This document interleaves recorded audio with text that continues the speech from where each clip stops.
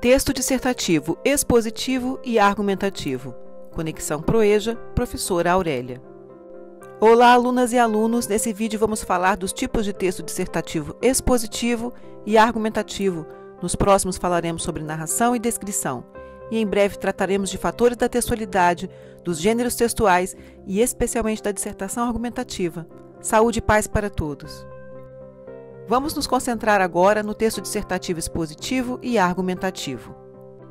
Dissertar é apresentar um assunto de modo claro, sistemático e lógico. Destacamos algumas características comuns aos dois tipos de textos dissertativos. O texto dissertativo explana sobre um tema, abordando-o em vários dos seus aspectos, tópicos ou questões. Além disso, eles abordam o tema progressivamente, Vamos observar como isso se dá num exemplo retirado do protocolo de retorno às atividades presenciais do IFES em julho de 2020. O surto de doença por coronavírus, Covid-19, decretou uma emergência na saúde pública mundial. Sabe-se que o vírus é transmitido através de contato com gotículas respiratórias de uma pessoa infectada ou por entrar em contato com superfícies contaminadas e, na sequência, tocar o rosto, em especial olhos, nariz e boca. Nesse sentido, são necessárias precauções para impedir a propagação do Covid-19 nas instalações do IFES, pois tais medidas podem impedir ou minimizar a circulação do vírus.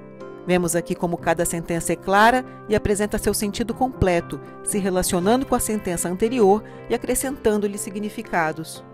Isso acontece com frases e parágrafos do texto dissertativo que enfocam sempre o mesmo tema, aprofundando gradativamente a sua abordagem. Mas como diferenciar então o texto dissertativo expositivo do argumentativo? O tipo dissertativo expositivo expõe ideias, teorias, conceitos, situações com a finalidade de informar o receptor, enquanto o tipo dissertativo argumentativo apresenta teses e argumentos com a finalidade de persuadir o receptor. Informar é fazer com que um dado saber se torne conhecido, enquanto argumentar é contrapor razões através do raciocínio lógico que levem a uma dada conclusão. Gêneros textuais, que exemplificam o tipo textual dissertativo expositivo, são dissertações, monografias, reportagens, verbetes, artigos de jornal, textos didáticos. E exemplificam o tipo textual dissertativo argumentativo, teses, ensaios científicos, ensaios filosóficos, artigos de opinião, dissertação argumentativa, aquela pedida no Enem. A dissertação argumentativa pedida no Enem é um gênero de texto escolar. Nele se encontrará predominantemente o tipo de texto dissertativo argumentativo. Mas a maioria dos gêneros textuais apresenta mais de um tipo textual na sua composição. Sendo assim, é possível encontrar numa dissertação argumentativa trechos de texto de tipo textual descritivo e narrativo, nossos próximos assuntos. Minhas alunas e meus alunos, espero que tenham gostado desse vídeo.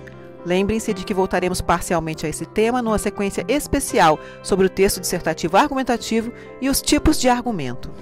Opinião não é informação. Cuidado com as falsas notícias, sejam cautelosos nos seus compartilhamentos e cuidem-se. Nos encontramos no próximo vídeo para falar dos textos narrativos. Até lá!